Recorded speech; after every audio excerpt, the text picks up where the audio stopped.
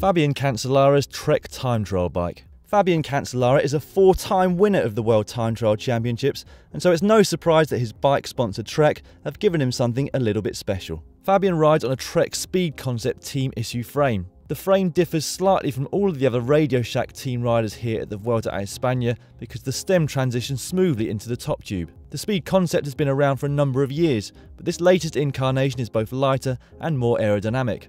All cables are internal, as are the front and rear brakes, which are hidden inside the fork and underneath the chainstays. The frame also features an integral Duotrap speed and cadence sensor built into the non-drive side chainstay, and the mechanics have glued a small magnet onto the disc wheel. The group set is a full Shimano Dura Ace 11 speed, but unlike the rest of the team, Cancellara opts for a mechanical version over the electronic. When his mechanic was asked why, he simply stated that it's because the connection between Fabian's head and hands is too slow for electronic. The cranks are the older Dura Ace model, simply because they are fitted with an SRM. Fabian runs super long 177.5mm cranks. The front chain rings are huge, with a 44 tooth inner and a 56 tooth outer, whilst the rear cassette is a fairly standard 1125.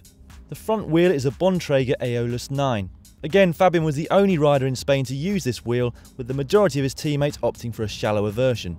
The rear disc is a D-badged Zipp, with a team sticker ready to cover the valve hole once the tyres are up to pressure before the start of the race.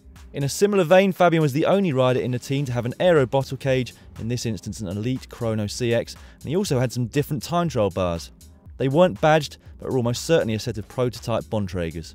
At the top of the bike is a Prologo Zero TT saddle complete with a rubber grip to prevent the rider edging forwards, whilst the tubular tyres are the one model from Schwalbe in a size 25mm. Pedals are Speedplay in team colours and finally up front is an SRM Power Control 7 giving Fabian all the data he needs. Fabian will be using this bike at the Stage 11 individual time trial in the Tour of Spain, where we can expect to see him fighting it out with Tony Martin of Omega Pharma Quickstep.